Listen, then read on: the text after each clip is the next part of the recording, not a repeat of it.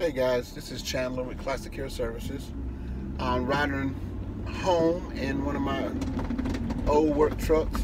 So please, carpet cleaners, please don't give me comments about cleaning my roof. It's a dirty car. It's a work truck. But anyways, just want to share some thoughts that I've um, with you guys, my thoughts of today. And I'm gonna entitle it don't imitate, don't copy, but get under authority.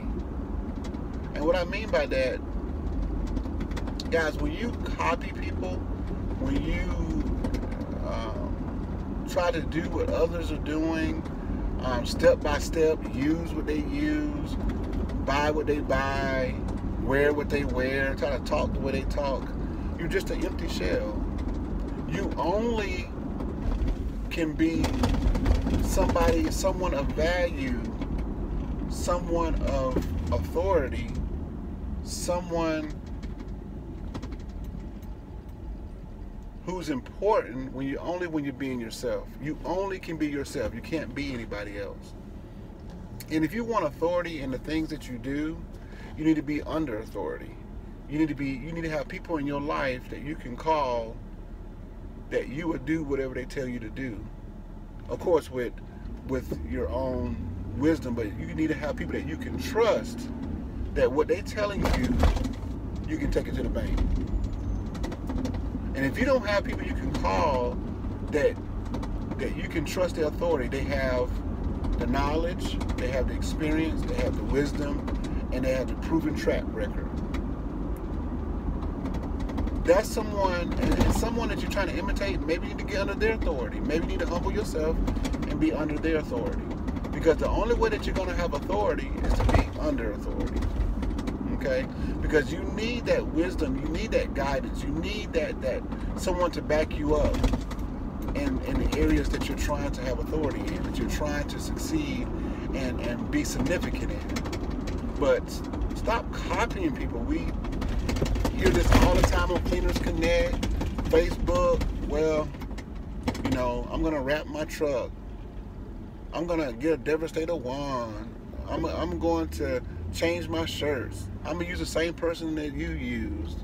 You know, all, all you're doing is copying someone else. How did you do that? You know, why did you do that? You need to be yourself. You need to, you need the knowledge and you need to be yourself. Don't copy someone else, but be yourself. And if you want authority, get under authority.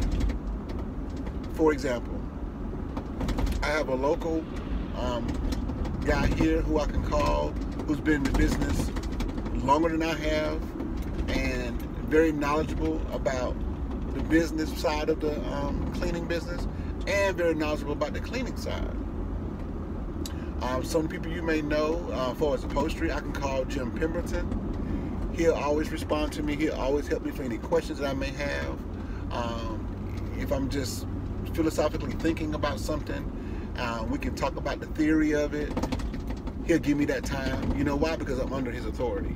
So you need someone like that that you can trust, you can talk to, you can um, be humble, um, and where you can just be yourself, where they can help and guide you to lead you down the path that you are wanting to go.